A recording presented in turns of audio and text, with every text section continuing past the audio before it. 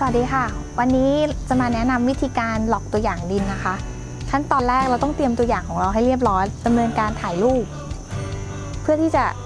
ดูลักษณะขององค์ประกอบโดยรวม ลักษณะของตัวอย่างว่าเป็นดินสีอะไร ลักษณะตะกอนเป็นยังไง แล้วขั้นตอนรายละเอียดก็คือการ log ตัวอย่างเรียกว่า visual นะคะ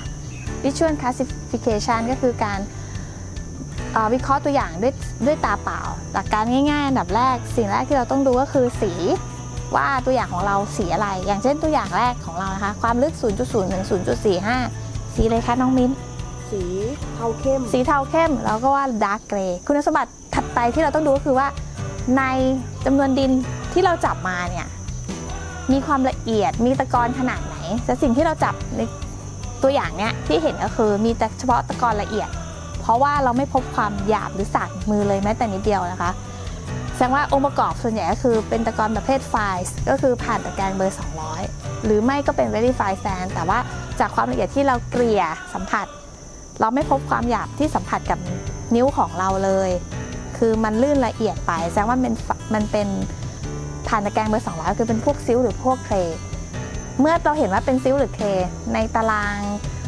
ประมาณการของชื่อของตัวอย่างนะคะ ก็คือมันก็คือเป็นฐานตะแกรงมากกว่า 50%นะคะ มันก็จะจัดเป็นกลุ่มพวก CL SC หรือว่า CS แต่ว่า CSC เราตัดออกไปเพราะเราไม่พบไม่พบทราย เราก็จะจัดว่ามันจะเป็น CL หรือว่าเป็น CS สองสิ่งนี้มันแยกกันที่ความเหนียว เราจะวัดยังไงนะคะ ก็ให้น้องเขาปั้นนะคะ ปั้น ให้เป็นแท่ง ขนาดถ้าจำไม่ผิดก็สามส่วนสี่นิ้วนะคะ เล็ก ประมาณนี้นะคะ แล้วเราก็เอามาปั้นใหม่ ถ้าเราพบว่าการปั้นแบบนี้คลึงในขนาดไซส์เดิม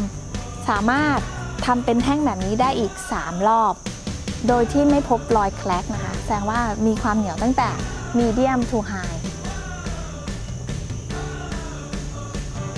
เราก็จะจัดให้เป็นประเภท CS ดินที่เราพบชั้นนี้เราก็จะจัดว่าเป็นประเภท CS นะคะ ก็คือเป็น silty clay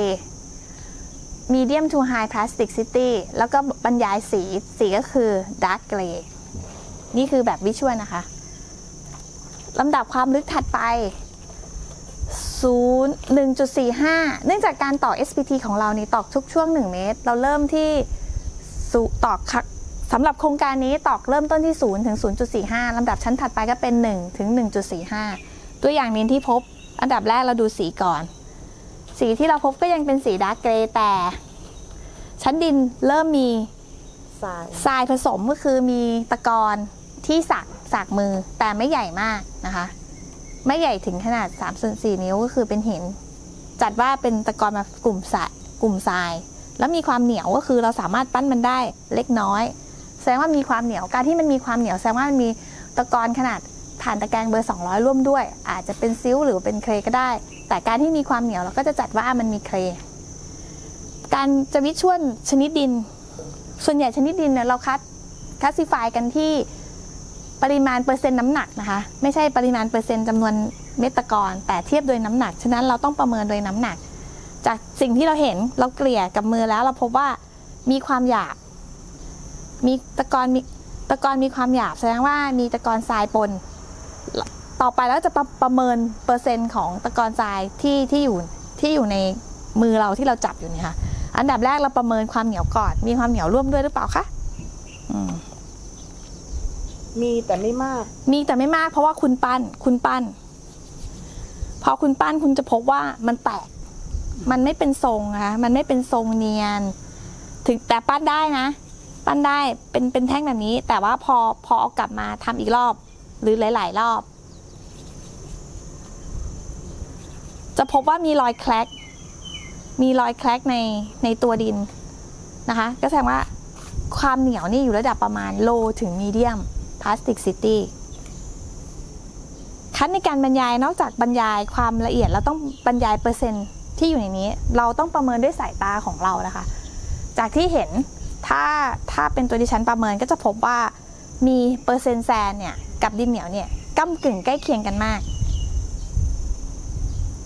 ถ้าโดยน้ำหนักจะพบจะให้เปอร์เซ็นต์ในนี้ก็คือว่ามี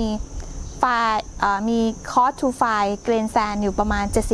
70%แล้วเป็นตะกอนละเอียดประเภท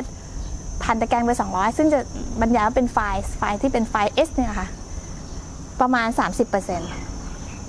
ถ้าเข้าถ้าเราไปเทียบในตารางชื่อชื่อของชนิดดินกก็แสดงว่ามีเปอร์เซ็นต์แซนเนี่ยมากกว่า 50%มีตะกอนที่ผ่านตะแกรงเบอร์ 200 มากกว่า 10%ก็จะจัดอยู่ในกลุ่มดิน SC นะคะ ที่ความลึกถัดไปจะพบเลยนะว่า ชนิดดิน ถ้าเราเทียบโดยเปอร์เซ็นต์น้ำหนัก ดินชนิดเนี้ยไม่สามารถปั้นได้เลย แล้วพบว่ามีตะกอน ตะกอนหยาบเป็นส่วนใหญ่ ซึ่งเราพบว่าไม่ได้มีขนาดใหญ่เป็นถึงเป็นกรวด แต่อยู่ในจัดพวกกลุ่มของ sand อยู่ก็คือ sand เป็นเพศ coarse coarse grain แต่ที่เห็นมันไม่ได้มีแค่ coarse grain มันยังมี medium และ fine เราไม่อาจจะประเมินเปอร์เซ็นต์ได้ว่า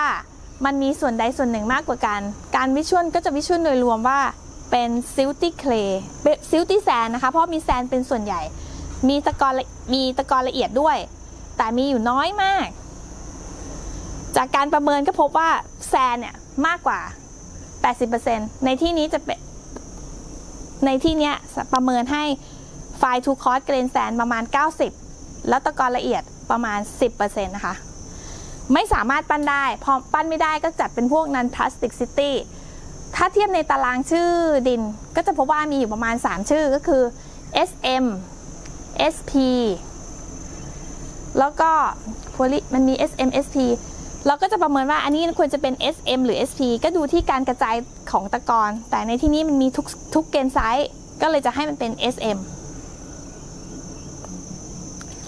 โดยหลักๆ ชนิดดินที่เราสามารถวิชวลด้วยสายตาก็จะเป็นแบบตะกอนประเภท CL CS SM SC นะคะ แล้วก็รวมทั้ง GC แต่ว่าในตัวอย่างวันนี้เราไม่มีตะกอนหยาบระดับ G นะคะ